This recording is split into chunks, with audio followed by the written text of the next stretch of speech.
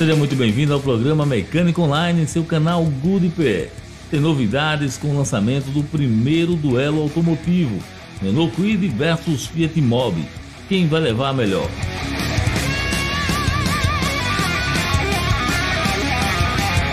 Confira entrevista exclusiva sobre o futuro da Ford no Brasil e os carros mais premiados em 2019. Tem novo Mustang e Jeep no programa de hoje. Ajuste o sofá, coloque seu cinto de segurança e acelere conosco.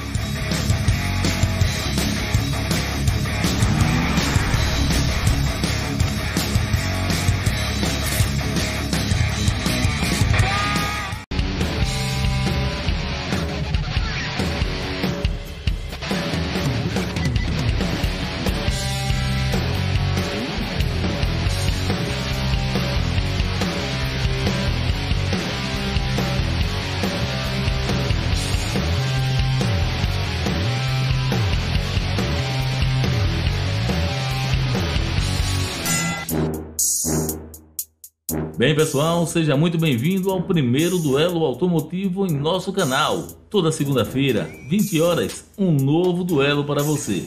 Vamos iniciar com um duelo no segmento dos compactos. Do meu lado esquerdo, o Renault Kwid Intense 1.0, que é oferecido por R$ 42.890 e produz 70 cavalos de potência. Do meu lado direito, o Fiat Mobi Drive 1.0, que é oferecido por R$ 45.990 e tem 77 cavalos de potência. Competidores apresentados, vamos ao primeiro duelo.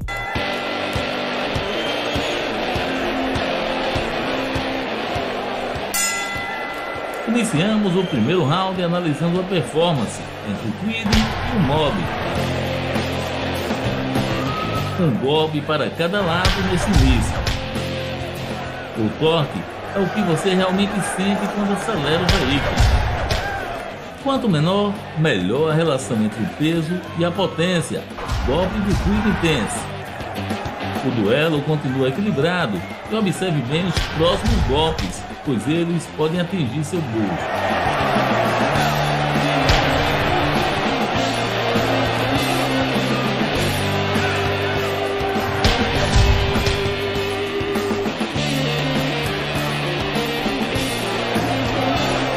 Primeiro round vai chegando ao fim com golpes nos custos e benefícios e também nas revisões durante três anos.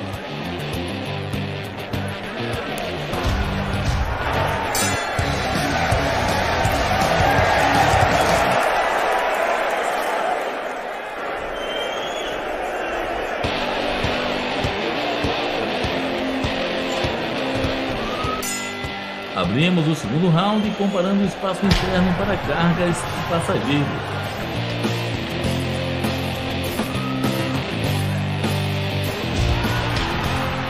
Muita atenção nos próximos golpes, pois a segurança pode ser um fator decisivo na sua escolha.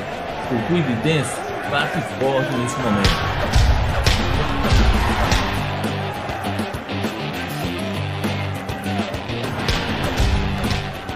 A quantidade de estrela reflete mais segurança para os passageiros adultos.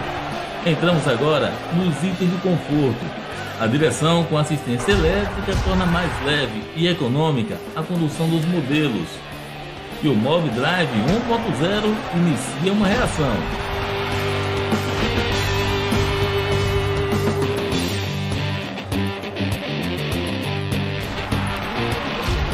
Final do segundo round.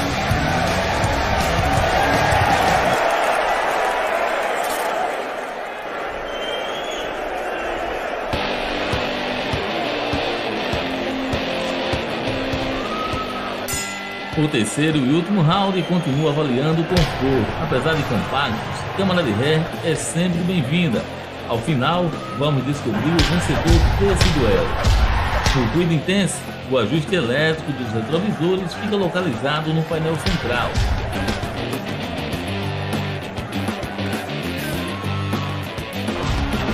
Facilidade na hora do abastecimento com destravamento interno cada vez mais atual e importante, A conectividade merece destaque em nosso duelo. Fique ligado.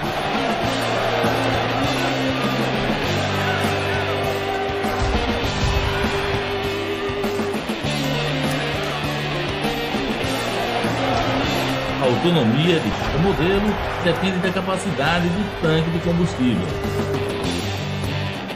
Estamos chegando ao final do duelo e vamos descobrir o primeiro vencedor.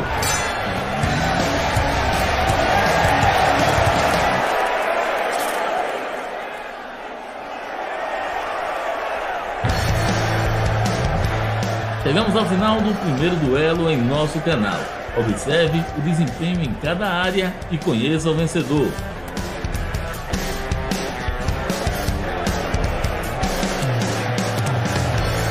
E a vitória foi do Renault Kwid Intense 1.0. Seja muito bem-vindo ao nosso primeiro duelo automotivo. De um lado, o Renault Kwid Intense 1.0 e do outro, o Fiat Mobi Drive também 1.0. Dois veículos aí de entrada, compactos, subcompactos, normalmente para quem está interessado em entrar no segmento e ter seu primeiro veículo. A gente observou aqui no nosso duelo que o diferencial principal do Renault Kwid Intense 1.0 foi o aspecto da segurança, ele tem um pouco mais de estrelas do que o Mob e também em conectividade no sistema multimídia, que foi o diferencial do Kwid.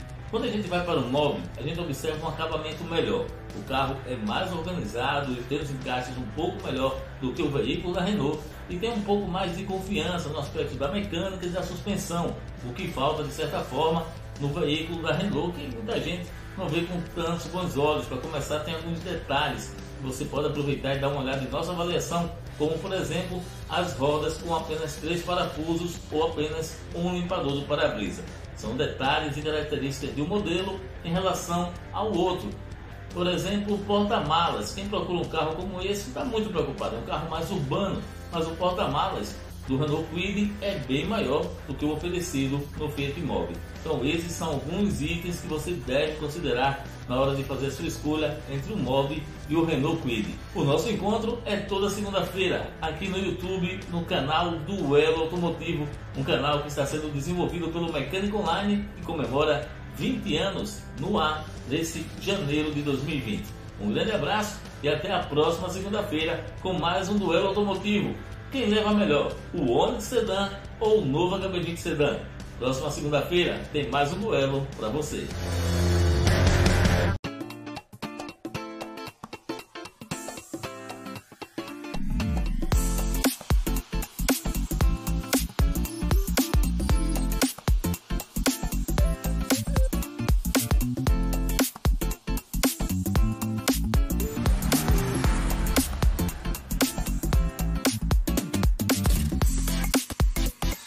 Olá, você do Mecânico Online, tudo bem? 2019 vai chegando ao final e a gente tem a oportunidade de conversar e saber mais sobre a Ford. Eu converso com o Rogério Golfábio. Rogério, como foi esse ano 2019 para a marca Ford aqui no Brasil?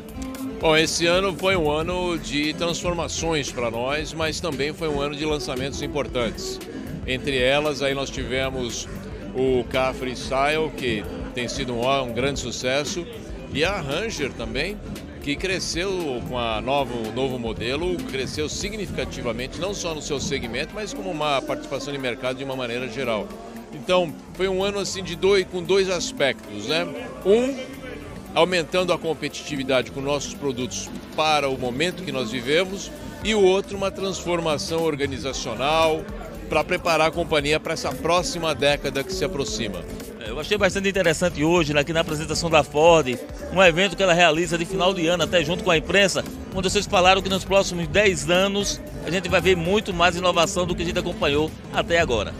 Sem dúvida nenhuma. Quando você pensa em conectividade, inteligência artificial e falamos aí do processo de eletrificação do automóvel, seja totalmente elétrico ou híbrido ou híbrido plug-in, isso vai criar uma transformação enorme nas pessoas do ponto de vista não só de como elas vão se movimentar e como esses carros vão ser é, propulsionados, mas também do ponto de vista de comportamento das pessoas e da cultura dessas pessoas em interagir com a inteligência artificial e com a conectividade.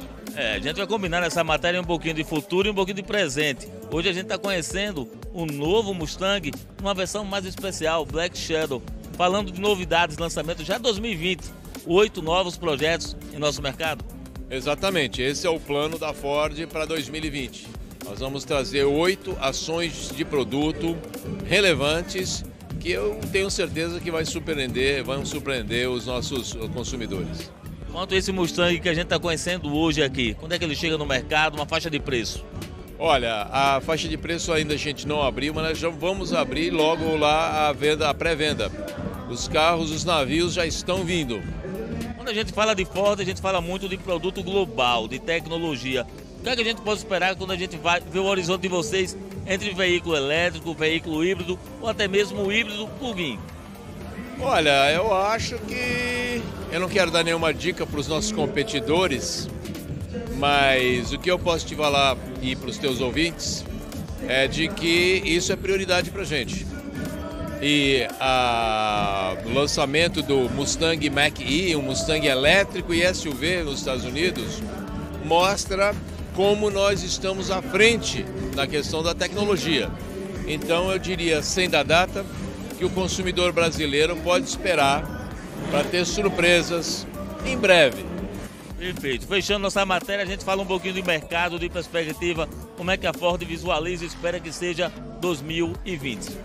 Olha, nós acreditamos que o mercado deve continuar crescendo provavelmente num ritmo que cresceu esse ano, que não foi pouco, né? Estamos falando aí de 9 a 10% de crescimento e que ainda vai ter uma predominância grande da venda direta. Isso deve continuar o ano que vem, sem dúvida nenhuma. E é, vamos sofrer ainda um pouquinho com a Argentina, que ainda não tem, aí não apareceu a luz no fim do túnel na questão econômica.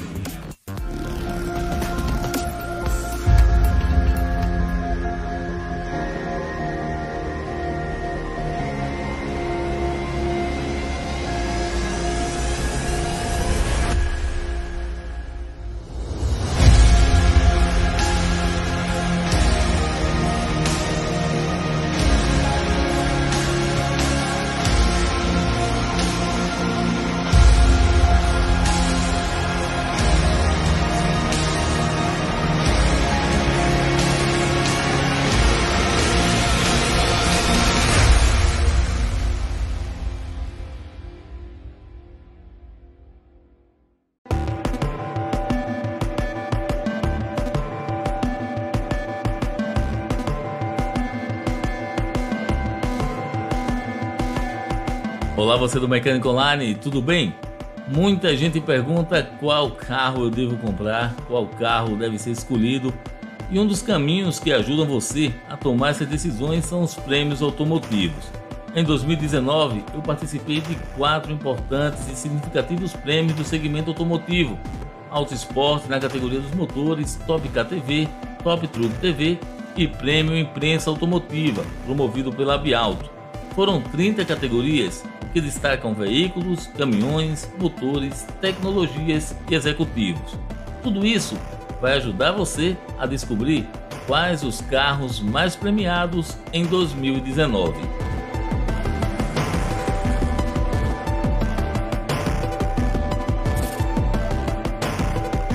O resultado desses prêmios pode ser utilizado por você, consumidor, que procura um novo veículo e ainda tem algumas dúvidas porque a escolha de um carro novo é normalmente determinada pelas necessidades que você e sua família possuem.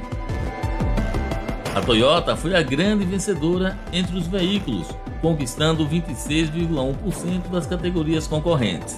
A Mercedes-Benz veio logo atrás com 21,7% das categorias vencedoras, seguida de perto pela Chery com 17,4%.